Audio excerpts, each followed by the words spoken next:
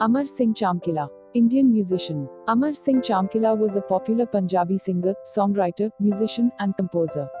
Chamkila and his wife Amarjot were killed along with two members of their band on the 8th of March 1988 by the Punjab police.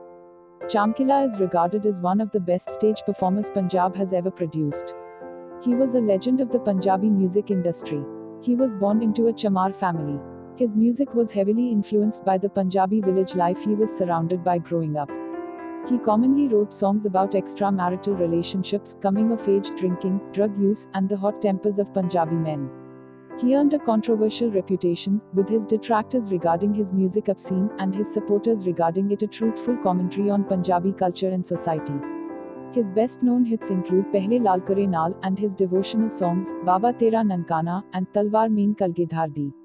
Though he never recorded it himself, he wrote the widely popular Jatt Di Dushmani, which has been recorded by many Punjabi artists.